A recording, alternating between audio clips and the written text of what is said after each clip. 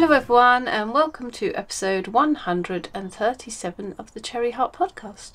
I am Sandra, and this is a podcast where I talk about crochet, knitting, and sewing mainly. You will find the show notes for this podcast on my website, which is cherryheart.co.uk, and I'll pop a little link in the down bar below. And that's also where you'll find my patterns and tutorials. You can support the podcast by giving me a thumbs up, or leaving a comment, or hitting subscribe, or dinging the bell. And you can also send me some little um, thanks, love, whatever it's called. I don't know. Super thanks, I think that's what it's called. Yeah, that's the love heart one. Should you feel so inclined. Um, I think that's it. Oh, I'm also on Instagram as Sandra Cherry HRT. That's it. so, how are you? I hope you've been keeping well and finding some nice, lovely, calm crafting moments. Um, things continue busy here. We have now dropped my daughter off at university, so, so far away. So, yeah, she's got a few weeks under her belt now, and um, yeah, it's going well, so that's good. Very exciting times. Um, but it's very strange not having her around after she's been in the house sort of well since spring really more or less. What with exam leave study leave and um, yeah. And then the holidays and everything. So yeah it's very odd. It's very quiet around the house now. But crafting has continued. I've got quite a lot it looks like to show you. So some of them that you've that I've been on the podcast before, I might go through a little bit more quickly. Um, it's a lovely sunny day here today. It's an open door podcast day. Yeah, so I'm enjoying that. A bit of late sun. Um, but yes, let's crack on. Where to begin? Let's update you on progress on a few of the things that I've already started. Um, so let's go with crochet first.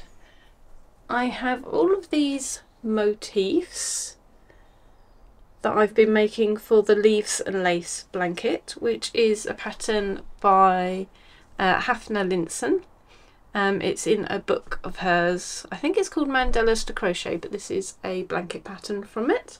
So I've got all of my whole hexagons that I need and this is them arranged in the order they're going to be. So I've laid them all out on the floor and um, and then I've piled them up into the rows and stacked those up. So that represents some sort of organised order despite how it may look. And then I set to work on the half hexagons. So we have these ones are the half hexagons to go down the sides. So they're like this so I've got a few of those. And then there's also half hexagons the other way to go at the sort of the tops and bottoms. So that goes like that. So that's all of those ones. So I've got those completed and the ends woven in now. So I'm doing quite well on that and then I've taken a little pause on that now I've got that already and I've got the layout all sorted um, I've taken a little pause and I've wound up my edging colour. So all of the hexagons have one more round on them to make a uniform edge and you then join on that edge. And then the border is in this colour as well. So that's what I've gone for, this sort of beigey colour. I had one of those already in stock. So this is a stash busting project so all the other colours I already had in in um, in stock. I'm not a shop in my stash. And I had one of those. Um, so yeah I did need to get some more of that colour to sort of do all the edges and everything. But that's all ready to go. So I've progressed that to that stage which I'm quite happy with how that's going. So I put that on one side for a bit to work on other things um, oh, and the yarn is Cascade Pima Cotton, just so you know on that in case anyone asks. And then my other work in progress is this one. So again, quite hard to show because it's just a stack of motifs. These ones are quite floppy floppy, so they're hard to they're hard to show you. Let's hold one up. So again, this one I have talked about before. This is going to be a pattern for um well not for anything, just for Cherry Heart. It's going to be a new Cherry Heart pattern. Um which is based on a photo of a vintage blanket. So I had stopped progress because I had run out of yarn and I was going to try and get Stylecraft to source me some, but they couldn't get any stock. But luckily I managed to find some elsewhere. So this is what I'm using, the Stylecraft Natural Bamboo and Cotton. And I actually I calculated how much I needed, which was about 30 balls. And then I did find some in stash, so I had about eight. So I made some, and then I was sort of waiting again, waiting again for yarn to come in. And then, um, yeah, then I sort of thought, well, I'm going to have to order some then. So I placed my order, but instead of adapting it to what I now needed, I think I'd decided I needed like 22 balls. I actually ordered like 32 by mistake. So that's good. So now I've got absolutely tons of it. Way more than I needed. Um, but never mind. It's a beautiful bright white colour. I'm sure I will use it on another project. So that's absolutely fine. And I've got other colours of this. So I could easily, you know, there's plenty of things I could use it with. So that will be fine. Um, so yeah, so I've got a little bag of these out to be carrying on with. So I think I'm halfway through my motifs now. I think I'm going to need 42 for the size of blanket I want. And I've got 22 here now. And I'm just working on another. Um, yeah, so I thought I'd spend a little bit of time on that. It's a very summery project and you know, obviously the weather's had well, it has been turning up until the last few days where it looks very summery and beautiful again. So it's a good time to work on it. Um, it had started to sort of feel very autumnal and quite cold, so it didn't. It seemed a bit out of keeping. I don't know. Sometimes it's just nice to work on projects that are suitable for the season, isn't it? Although it's that's not always possible when you're trying to create patterns, obviously, because you're kind of working ahead, but or potentially you are. I'm never really that organised. yeah, excuse me coughing.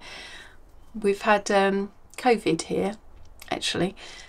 Um, yeah, we both came down with a horrible, nasty old cold, and um, I didn't even think about it really, whether it was COVID or not, because obviously all the regulations and everything have gone now. But I was just having a conversation with someone about um, them having the COVID jab, and I suddenly thought, oh, actually, this is a really, you know, it does sit very heavy. It has made me struggle a little bit with my breathing. I wonder if it is COVID, and we had some tests left.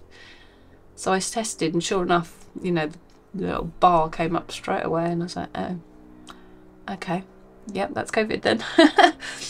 so, yeah, so I'm fine now. I was only felt sort of really groggy for a couple of days, and then um, yeah, absolutely fine otherwise, but I do still have a little bit of a a little bit of a foggy throat, bit of, and a bit of a cough left. So yeah.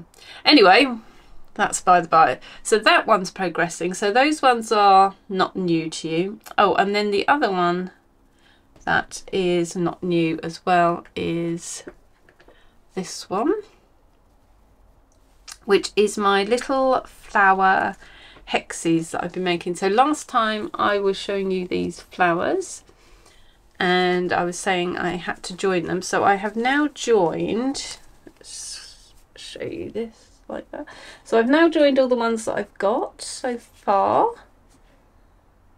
Is that fitting on just about? There we go. Um, yeah, so I've just joined them with these white hexagons. So the colourful ones are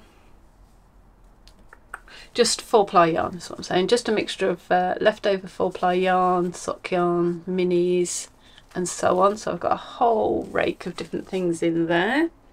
And then I'm joining them with Drops Baby Merino, which is actually a sport weight, but I've used it before on sort of four ply patterns, um, four ply blankets, and it seems to work up nicely with it. And it's it's got a nice feel and smoothness to it that I really like. So I've just stuck to that because I know it and I like it. Um, yeah, but I've got all these joined now, so that's how it's going to look. And now I've just got to make it bigger. So this is one of those, you know, slow burner projects. Obviously it takes quite a long time to make much progress with these tiny, tiny little two round hexagons. Um, and I realise I haven't joined them in the most efficient way. I don't know why I couldn't work this out, but I was I was sitting and thinking about how to join them, and I was laying them out. So I wanted one hex, one white hexagon between each. Oh goodness me! Do you know what I'm saying? I wanted one white hexagon around, and then the next hexagons to join, and I couldn't get it to work out quite right. And I thought, I'm sure there's a way of doing this more efficiently with less white hexagons. But I was laying them out, that was one apart, and then I couldn't get one, I couldn't get this right up here, and then it was offset if I put it in in here, so I had to put it another row down. I thought this, I'm sure there's a better way of doing this. And then I saw someone else was joining um, patchwork hexagons together, and they had got them just one right row apart, and I was like, ah. So instead of putting them one hexagon apart between one like that. If I'd done it that way and just put one hexagon apart, I could have put the next one there and then the point of the other one would have been in there and I wouldn't have needed to do so many white hexagons. Yeah, but that was, I saw that after I had got to this stage and I have woven all the ends in trying to be a good little girl, weaving all my little ends. Um, so yeah, so I'm not going to change it now, but it's okay. I think it looks nice like this. They've got a bit more space between them, but that's not a terrible thing. So that's what I'm going with now. That's the system we've got set up, so that's fine. Um, but yeah, that was a little bit annoying.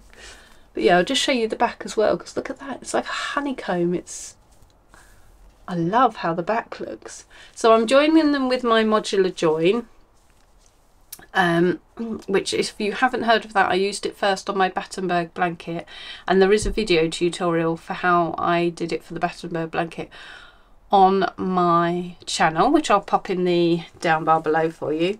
Um, yeah, so I've adapted it slightly because I'm joining in a slightly different order for this. Um, but yeah, the basic principle of this is the same, and you just get this lovely honeycomb feel at the back, which you, that could be the front easily, couldn't it? With that nice honeycomb feature, that could easily be the front. This almost makes it a double-sided blanket actually, which is quite nice. Because I, I I don't often say this with crochet, but I genuinely think both sides are, are as pretty as each other. Sometimes you can, like if you have a, like a, you know, a granny square blanket or something like that, where you're alternating, so there is no real right side and wrong side. But yeah, so I like that. I like both sides and I like how it's coming on. So I've had a little rest from that as well once I joined it. But the next stage will be making up some more flowers. So I think that's how I'll do it. I'll make a batch of flowers and then I'll join them on and then make a batch of flowers, join them on and so on. But yeah, I thought it would take me absolutely forever to sort of make it this size. And although I suppose, I suppose I have spent a reasonable amount of time on it, it felt like it wasn't taking too long. You know, I started to sort of make good progress joining another hexagon in and yeah, it just it just didn't feel as bad as I thought. So yeah, that's coming on. So those are all kind of um, um, just waiting for me to come back to them again. I guess this is the kind of one I'm working on at the moment. So let's talk about the new projects now. So, what else have I been up to? I've got some finished projects to talk about as well, so I'm going to go on to them. So this is a, well, it's not really a Nistina crochet or an anything project, so it's a sort of just a general craft project. So I made these lovely Liberty baubles using scraps of Liberty fabric. So I when I made my flower garden quilt, which I've talked about many times, but I'll shove a picture in so you know if you're new here. Um, it's lovely to have you, by the way. But if you are new here and have no idea what I'm talking about, I'll pop that in. So, and all when I cut out all my shapes, I've kept all my scraps of various different Liberty with a view to using them for something. So even the really tiny scraps, I thought I will keep. And my sister actually mentioned this idea of making baubles with the little scraps. So I kept them with that in mind and yeah I've made these up now. So I've got eight and I've stuck to just one colour per bauble just gone for all different ones because I collected I collected all my scraps up into sort of colour categories. And yeah it was just a very quick and pleasurable little project if you've seen my recent quiet moments, the um, quiet moments end of summer one, I was showing me making them in that. But yes, so the baubles um, are just cardboard. They were brown cardboard when I got them. Um, I just got them from Amazon. And because I knew I wanted this fabric and the fabrics, you know, it's got quite a white background. I didn't want the brown to show through and look dull. So I gave them quite a few coats of white paint before I began. Um, and then once they looked reasonably white, I just used some poster paint, just some sort of children's poster paint that I had left over. Um,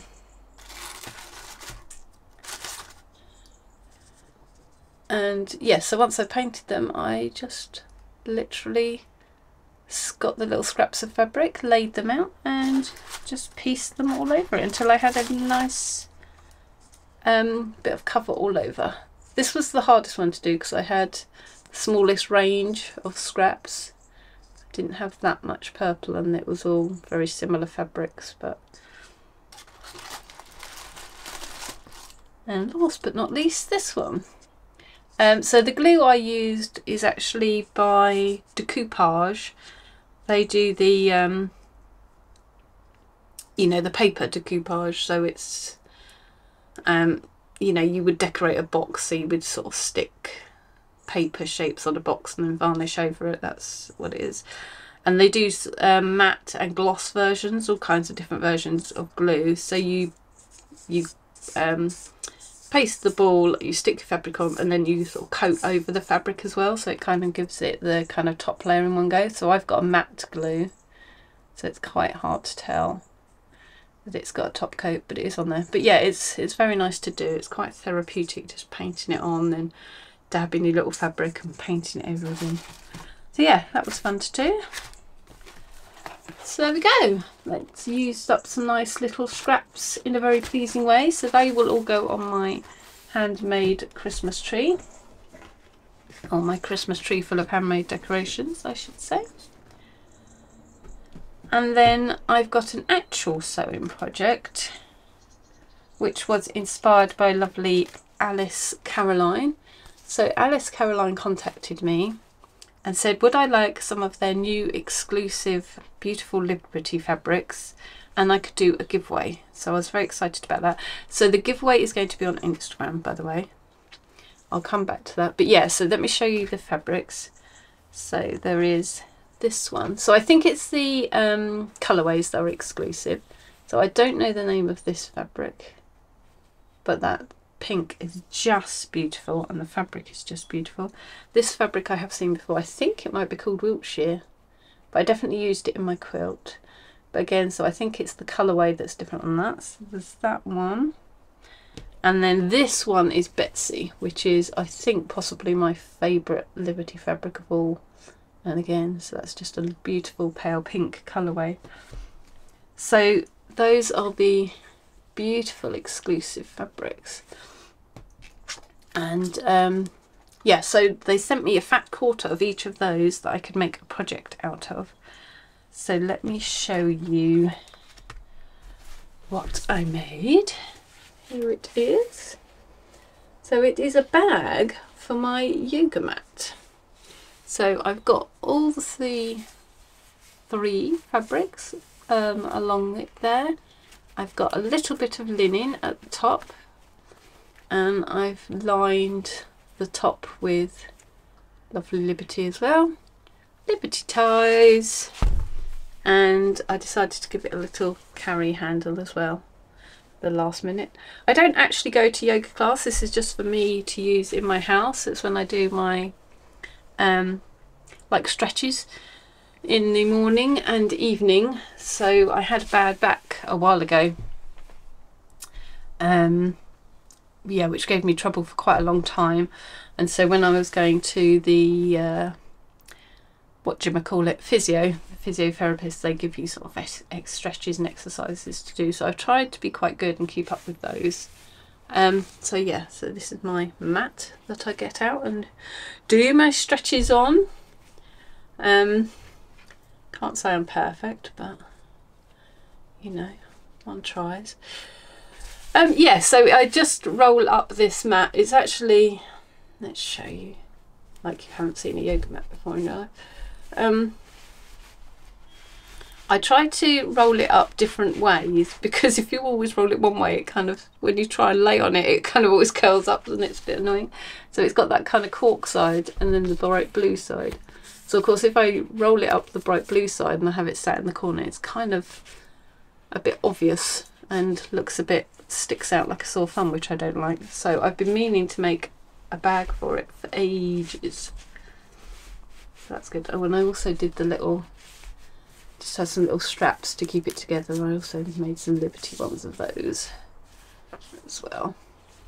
Um, yeah, so now I can just put it in its little case and that's much better to prop up in the corner. I don't mind seeing that at all.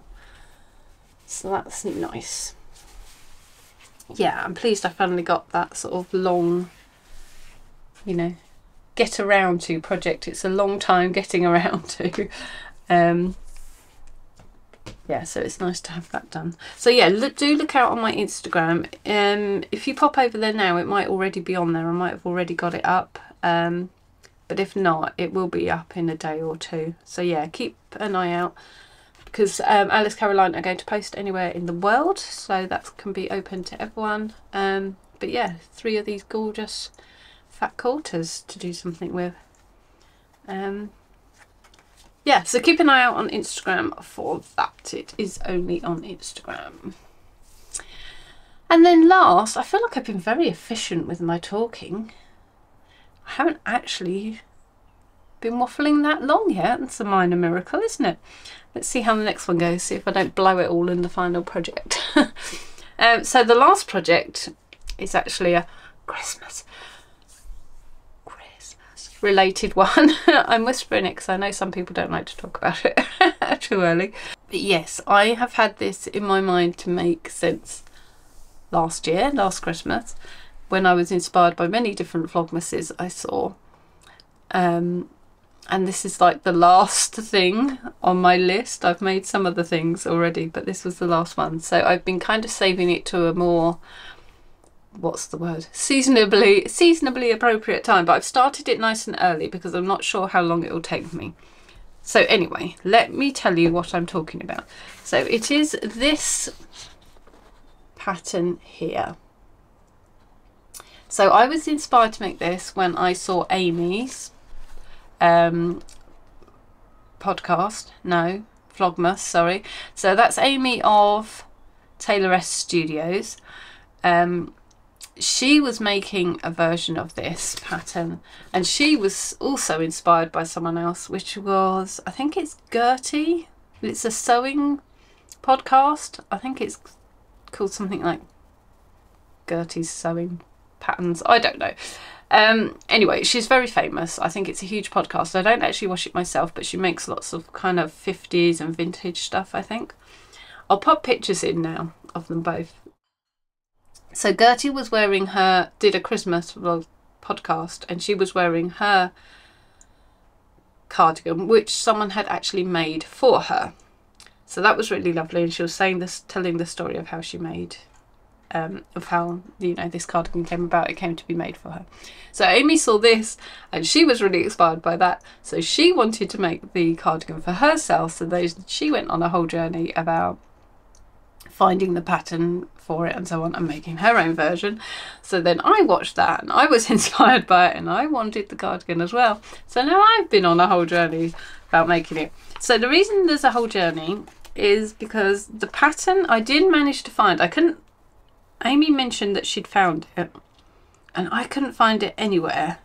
And I almost gave up on the idea. I actually brought another pattern instead that I thought was quite similar, which was this one which is a jumper, but it's still got that snowflake and the little, you know, spots on it. I didn't like this sleeve, but I thought, well, that's fine. I could just take that out. So I brought that thinking that might be the closest thing.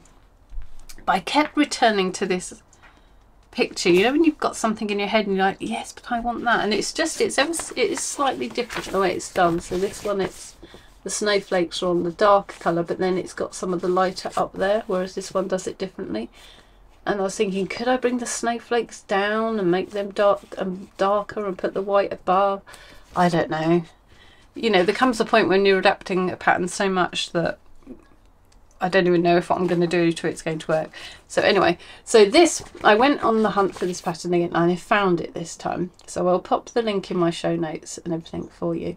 But the only problem with this for me is it is in French. And I am absolutely rubbish at languages. French, if anything, I can have a bit of a go at. Um, I'm probably best with French, but understanding a sort of technical written directions French is a whole nother ball game. Now there are things online that will help you translate French knitting patterns.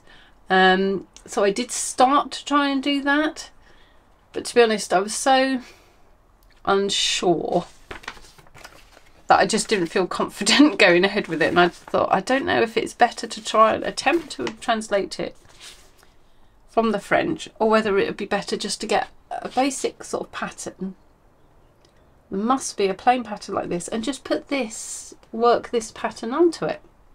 So that's the option I went for. So it took me quite a time to find an appropriate pattern. I actually printed out quite a few, six or seven or eight possibly even patterns to look through. Um, I just went for a free pattern not because I mind paying for a pattern normally, you know, I'm quite happy to pay for a pattern. It's just I needed to be sure that I could do what I wanted with the pattern before I would potentially pay for it. So I was looking at free ones just so I could see, see what the patterns was, see what the stitch count, see if I could kind of work this motif in as I needed to. Anyway, so I found one in the end that I thought would be the best mix, the best fit, which is this, which is Enchant by Martin Storey. So it's a Rowan pattern. And I think this is going to do what I need it to do. So this is actually made with DK yarn. And the original, I can't even remember what the original was made in. Um, yeah, it's probably about a DK. So it's 24 stitches in 29 rows that's about a DK. So I got this to make it. Cascade Superwash 220. So I wanted to find something that was wool, proper woolly wool. And I wanted to find something that was vaguely affordable. And the choices, and I wanted to find something that had the colour I want. So the choices I think it was colour that was particularly the limiting factor. But the choices were not great at all. I think it was between this and one other. And what the one other, the colour wasn't as good. Um, yeah, so I ended up going for this. Now on the site I bought this from, they described this as a DK weight yarn. But I would say that it was an Aran weight personally. So they're saying 20 to 22 stitches in 4 inches. They're recommending it for 4 to 4.5 needles. So a 4 is about a DK. 4 needle would be about DK. So it's either a very thick double knit. I'm just looking at what the, the um, needle size on the original pattern. I think three and a half, possibly. Um, yeah, so this is a little bit bigger, basically. And like I say, I feel like it's an Aran weight, really. But that's by the by. That's what I've got. That's what I'm going for. So it was this colour I particularly wanted. So I think Gertie's original one, well, you would have seen, was red and white. Amy's was the one I really liked, and she had a lovely sort of pinky peach. Oh, she used John Arbon yarns. Now, I don't know if they are back now, but they actually withdrew them because they were resourcing the yarn, the um, sort of the blends, I think they were changing. So I couldn't get hold of that at all. Um, it may, I think it was due back, but I was I was too impatient. I thought I wasn't sure when I was going to start this. I was clearly too impatient to wait, so if it's back now, that would be annoying. But hey ho. At the time, it wasn't there. I couldn't get hold of any, so this was what I went for. It's a little bit darker than Amy's. It's a bit darker than I wanted, but it is not bad. It's not bad, and I think it will look cute. So this was my gauge swatch. So I've done a gauge and I'm going for, it's a little bit of a guesstimate as my garment making always is because the gauge on the pattern is slightly different. Um, I'm shaking my head because I always make life so hard for myself. So based on the gauge, I've chosen my size that I will make in my gauge I think will come up right size. So it's slightly smaller than I am now but we worked in this gauge. I think it's all going to work out fine. I think it's all going to be fine. It's going to be fine. It's going to be fine. So that's my gauge swatch for what use that's worth. Um, it's my floats on the back I've taken it across. Um, yeah, but I like how that's coming up. That's looking nice. So that's on a four and a half needle. And the pattern is four. So yeah, so the sizing is going to be different. But having measured it all out, worked it all out, I think I'm good. Um, let's show you what I have so far. Because I thought I'll just start the ribbing and just do a few rows of the dots just to see how it looks. But actually, once I started, I kind of couldn't stop. So I've got quite a bit. Yeah, I love it. I love how it looks. Um, so the ribbon I actually knit on smaller needles as directed for once. And I have changed it as well. I've made so many adaptations. So I was saying I won't use this because I'll have to adapt it so much. I did really want the cardigan though. But um, and now I've picked this, which is the closest pattern that I could find to this that I could add the snowflakes to, but I'm still adapting it a whole bunch, so I don't know. If I knew enough to make a cardigan pattern for scratch, I'd pretty much do that, but I feel like I need something to base it on. But anyway, so I've changed the gauge, I've changed the needles, I've changed the yarn, and what else have I done differently? I can't remember. Oh, that was it. This one is knit flat. So the original pattern is knit flat and this was knit flat as well but I thought I can't bear it what is the point also to knit it all flat I know you can sort of say about seams and the structural integrity so yeah I guess but I decided to knit it in the round oh I've run out of battery. Hang on a moment. Right. Hopefully that's vaguely how we were. Um what was I saying? Yeah, so I've adapted it to knit in the round as well. So I think that'll only affect under the arms though, really, won't it? Because, you know, above that I'm going to have to knit separately anyway and join it together.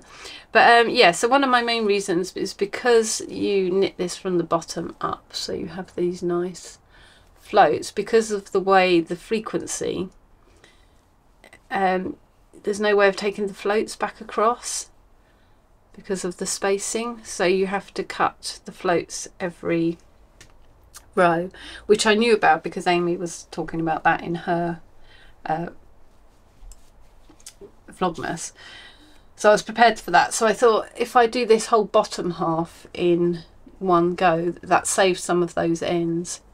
So I did briefly consider knitting it all in the round and then steeking it which is what you would normally do with a colourwork cardigan isn't it? So that you could knit all of this on the right side rather than trying to purl it. Um, which I did consider but to be honest I just thought I've never done that before. That's a whole load no more you know that's more information I've got to then find out about and research and worry about going right or wrong and I don't know how well I'll be able to try it on or off which I want to be able to do if I was steeking it. So I thought by the time I'd sort of worked all that out and worried all that through I may as well have just woven in the ends to be honest with you. You know I mean with crochet you get so many ends that it's just not that big a deal to me and although that might look absolutely horrific to some people, that amount of ends, especially if you're used to knitting. To me, that's, you know, that's nothing really. so, yeah, I thought, to be honest, for the aggravation and for the sort of agonising over how to do it, I'll just weave them in and then that'll be done. I think that'd be easier around. So that's my plan. So yeah, so that is coming on nicely. So I've kind of had to stop myself working on that because we're only in October and it's going to be a Christmas cardigan. So my plan is to have it done ready for the Christmas special episode um, of the podcast, which I normally do every year. Um, so yeah, I'm going to have to not work on it constantly, otherwise it will be finished before the end of October, and that would never do, would it? So yeah, but I'm, I'm enjoying that project so far. Whether I'm still enjoying it when we get to this stage is another matter. yeah, I think that is it for me. I think I've told you everything that I've been up to. I think I've shared all my latest projects with you. Um,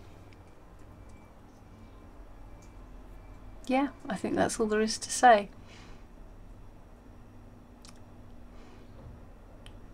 Um, I hope you've enjoyed the podcast. Thank you ever so much for being here. Thank you for trying it out. If you were new, I hope you enjoyed it. Thank you for sticking with me if you are a returning viewer.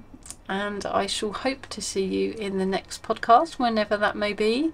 I'm continuing my sporadic episodes this year because that's just the way this year is going.